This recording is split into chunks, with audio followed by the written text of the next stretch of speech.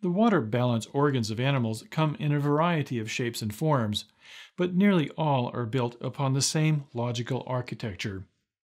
The insects are the notable exception to this, but as we've said before, insects are notable exceptions for nearly all aspects of their biology, and we'll consider water balance for them a bit later.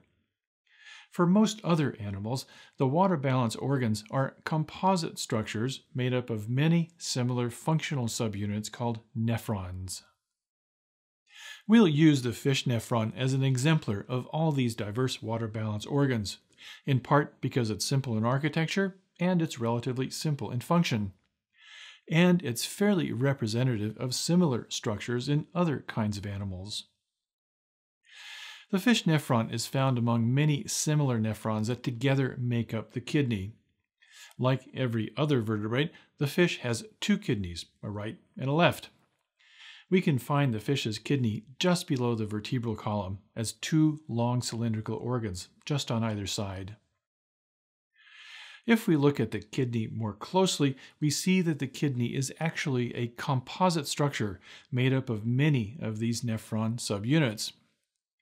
The nephrons are basically tubular structures, and the kidney contains several thousand of them arrayed along the kidney's length.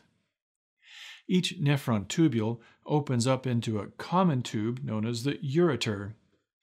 The ureter itself drains into a chamber, the cloaca, which it shares in common with the large intestine.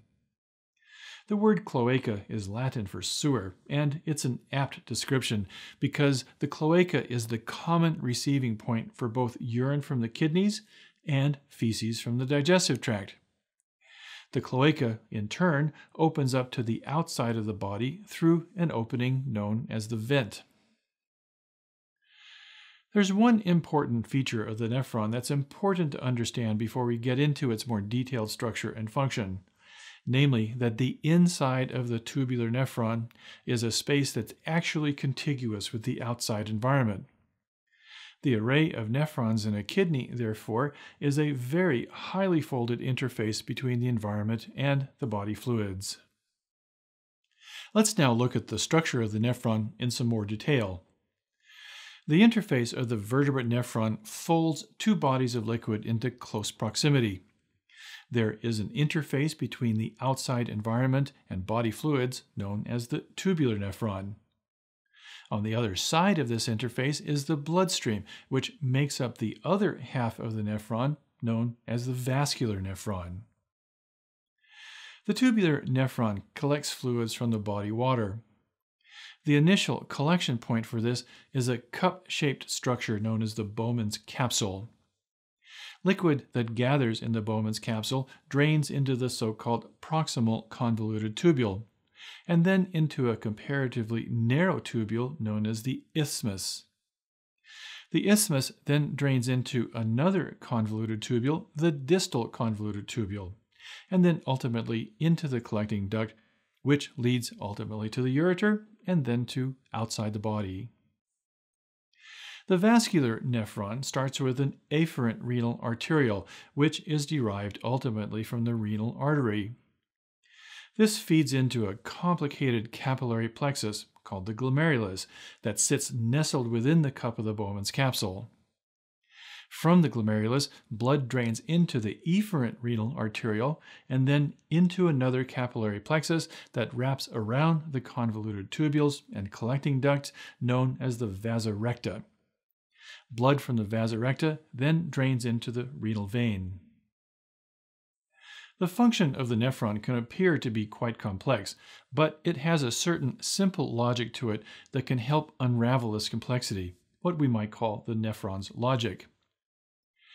Nephron function starts with a process called filtration, in which the liquid part of the blood, that is, the blood plasma, is filtered across the junction between the glomerular capillaries and Bowman's capsule, exuding a liquid known as filtrate into the capsule. The filtrate consists of water, the soluble salts, small solutes like sugars and amino acids, as well as certain other soluble wastes. It does not include the blood cells, or the proteins of the blood plasma, which stay in the blood that flows through the glomerulus. We'll have much more to say about filtration in a little bit, but for now, suffice it to say that filtration produces a voluminous amount of filtrate, along with whatever burden of filterable solutes that is contained within the blood plasma. Filtrate, as it's produced, will force a flow of liquid into the proximal convoluted tubule, where the next process, reabsorption, takes place. Reabsorption also occurs in the distal convoluted tubules and collecting ducts. As with filtration, we'll have much more to say about the process of reabsorption momentarily. Suffice it to say for now that reabsorption allows the recovery mostly of water, but also of salts, as well as what we might call small useful solutes like sugars and amino acids. Note that the soluble wastes are not reabsorbed. Again, we come back to the logic of the nephron, so to speak. The process of filtration involves the removal of voluminous amounts of material from the blood and translocating it into a space, the interior of the tubular nephron, that is topologically contiguous with the outside environment. Reabsorption recovers useful materials back into the body water before the filtrate is excreted from the body as urine. As the filtrate modified by reabsorption flows through the convoluted tubules, it's modified in another way. This is the process of secretion, which is in many ways the opposite of reabsorption. In reabsorption, there's a translocation of materials to the body fluids from the space contained within the convoluted tubules and collecting ducts. In secretion, material is translocated the other way from the body fluids into the tubule. The end product of this serial process of filtration, reabsorption, and secretion is urine. Thus, we come back to the basic logic of the nephron. It's a means of translocating filtrate from the body to a controlled environment that is topologically outside the body and then modifying its composition in ways that produces a very different liquid, urine, that is ultimately excreted from the body. In short, the nephron produces filtrate and converts it into urine. When we come to speak about the evolution and adaptation of kidney function, it will be helpful to understand something of the evolutionary history of the nephron. First, though, let's review some of the basics about vertebrate embryology. Vertebrates, like most animals, are triploblasts. That is, they have three germinal layers that form early on in embryonic development. The ectoderm forms the outer coating of the skin, and after some developmental contortions, the nervous system of vertebrates.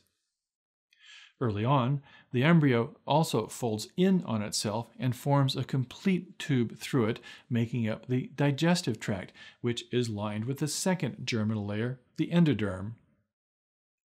Through embryonic development, an intermediate germinal layer, the mesoderm, forms to fill in the space between endoderm and ectoderm. Also, fairly early in development, a space opens up in the interior of the mesoderm to form the coelom, which is a word from the Greek for hollow or cavity. The coelom eventually becomes lined with an epithelial layer that becomes the peritoneum. The primitive nephron did not combine filtration with reabsorption and secretion, as the fish nephron does, but it separated these functions. Let's look more closely at the peritoneum and associated structures lining the coelom. Here, the peritoneum is vascularized by a number of capillary knots called capillary plexi. The capillary plexus, the singular, is the evolutionary forerunner of the glomerulus. The plexus is fed with blood at high pressure from the renal artery.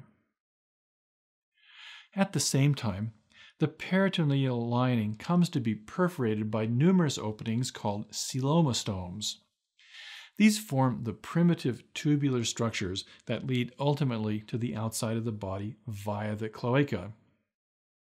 The tubular drained from the coelomostome was invested with a network of blood vessels that constituted the primitive vasa recta. This was originally fed by the low pressure circulation of a different part of the circulatory system, the renal portal system, which is derived from the veins draining the posterior parts of the body. The original function of the capillary plexus was to produce coelomic fluid by filtration across the peritoneal wall. As coelomic fluid, filtrate really, accumulated in the coelom space, it was drained via the coelomostome. As this fluid passed through the tubular structures and out to the cloaca, reabsorption and secretion took place there. Thus, the three functions, filtration, reabsorption, and secretion, which are combined into one structure in the fish nephron, were originally separate functions fed by two distinct parts of the circulation. The story of the evolution of the nephron is basically the gradual fusion of these separate structures for filtration, reabsorption, and secretion into the single functional unit of the nephron. Let's draw up the primitive condition that we've just outlined in some detail, with a capillary plexus that filters liquid from the blood into the coelom, fed by the high pressure circulation of the renal artery and a coelomostome that drains coelomic fluid from the coelom and modifies it by reabsorption and secretion through the vasa recta as it flows through. The vasa recta is still fed by the low pressure circulation of the renal portal system. The first major evolutionary change was the origin of the Bowman's capsule. This is a condition still seen in some fish and modern amphibians. There is still an open coelomostome, but now an additional outpocketing of the from the tubule that drains the coelomostome has emerged to envelop the capillary plexus, which has now sunk inward away from the peritoneal wall. The capillary plexus is still enveloped by a peritoneum of sorts, though, but now the epithelium enveloping it is the small isolated epithelium of the Bowman's capsule. Now, filtrate is formed directly into the Bowman's capsule, but there is still the option for drainage of coelomic fluid through the open coelomostome. Reabsorption and secretion still occur as liquid from the filtrate and coelomic fluid pass through the tubule. The high pressure glomerular circulation is still separate from the low pressure circulation of the vasa recta. The modern nephron, which is characteristic of reptiles, birds, and mammals, came about through the closure of the coelomostome, so that now all liquid feeding into the tubular nephron is derived from filtrate from the glomerulus. Now, reabsorption and secretion work on filtrate only, with no involvement from the coelomic fluid. And this completes the tubular nephron of modern vertebrates. The second major evolutionary change completed the vascular nephron, by merging the circulation from the efferent renal arteriole into the vasa recta, which is now fed by both the low pressure renal portal system and the efferent renal arteriole. There are many and diverse nephron like structures found throughout the animal kingdom that do much the same things that the nephrons of vertebrates do. For now, though, we have to understand better how the processes of filtration, reabsorption, and secretion work to produce filtrate and to convert that filtrate into urine. We'll concentrate on the function of the vertebrate nephron to show how this is done.